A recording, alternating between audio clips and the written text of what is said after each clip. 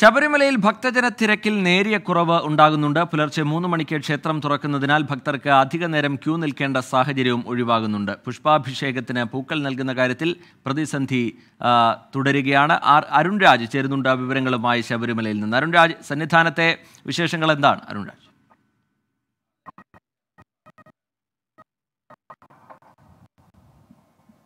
ഏറെ പ്രധാനപ്പെട്ട കാര്യം. സാധാരണഗതിയിൽ ഈ ഞായറാഴ്ച ശനി ഞായർ ദിവസങ്ങളിൽ മലയാളി ഭക്തന്മാർ കൂടുതലായി എത്തുന്ന ദിവസമാണ്. പക്ഷേ ഇന്ന് പുലർച്ചെ മുതൽ തന്നെ വലിയ രീതിയിലുള്ള ഭക്തജന തിരക്ക് കുറയും കുറവുണ്ട് എന്നുള്ളതാണ് ഏറെ പ്രധാനപ്പെട്ട കാര്യം. സാധാരണഗതിയിൽ ഈ ഞായറാഴ്ച ശനി ഞായർ ദിവസങ്ങളിൽ മലയാളി ഭക്തന്മാർ കൂടുതലായി എത്തുന്ന ദിവസമാണ്. പക്ഷേ ഇന്ന് പുലർച്ചെ മുതൽ തന്നെ വലിയ രീതിയിലുള്ള ഭക്തജന തിരക്ക് ഉണ്ടായില്ല എന്നുള്ളതാണ് യാഥാർത്ഥ്യം.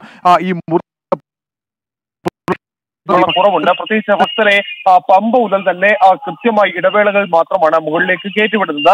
കാനവാതിലൂടെ വരുന്ന ഭക്തർക്ക് മാത്രമാണ് ഇക്കാര്യത്തിൽ നിയന്ത്രണമില്ലാതിരിക്കുന്നത് മറ്റൊരു പ്രധാനപ്പെട്ട കാര്യം ഈ ശബരിമലയിലെ ഏറ്റവും പ്രധാനപ്പെട്ട ഒരു വഴിപാട് കൂടിയാണ് ഈ പുഷ്പാഭിഷേകം. ഈ പുഷ്പാഭിഷേകത്തിന്റെ കാര്യത്തിലുള്ള പ്രതിസന്ധി ഇപ്പോൾ തുടരുകയാണ്. നേരത്തെ ദേവസ്വം ബോർഡ് ടെൻഡർ നൽകിയ വ്യക്തിയിൽ നിന്ന് മാറി പുതിയ ടെൻഡർ നൽകുന്നതുമായി ബന്ധപ്പെട്ട തർക്കമാണ് ഈ പ്രതിസന്ധിക്ക് കാരണം. എന്നാൽ ഈ പുഷ്പാഭിഷേകം മുടങ്ങില്ല എന്നതാണ് ദേവസ്വം ബോർഡ് ഇക്കട്ടത്തിൽ അറിയിച്ചിട്ടുള്ളത്. എന്തായാലും ഇന്ന് വൈകിട്ടോട് തന്നെ ഈ പ്രതിസന്ധിക്ക് പരിഹാരം കാണും നൽകുന്നതുമായി ബന്ധപ്പെട്ട തർക്കമാണ് ഈ പ്രതിസന്ധിക്ക് കാരണം. എന്നാൽ ഈ പുഷ്പാഭിഷേകം മുടങ്ങില്ല എന്നതാണ് ദേവസ്വം ബോർഡ് ഇക്കട്ടത്തിൽ അറിയിച്ചിട്ടുള്ളത്. എന്തായാലും ഇന്ന് വൈകിട്ടോട് തന്നെ ഈ പ്രതിസന്ധിക്ക് പരിഹാരം കാണും എന്ന് കൂടി എക്സിക്യൂട്ടീവ് ഓഫീസർ അറിയിക്കുകയും ചെയ്തിട്ടുണ്ട്. എന്തായാലും ഇന്ന് വൈകുന്നേരത്തിന് ശേഷം നാളെയുമുള്ള ഓൺലൈൻ ബുക്കിംഗുകൾ ശബരിമലയിലെ ഭക്തജന തിരക്കിൽ നേരിയ കുറവുണ്ട് എന്നാണ് അരുൺ രാജ് റിപ്പോർട്ട് ചെയ്യുന്നത് സന്നിധാനത്ത് നിന്ന്.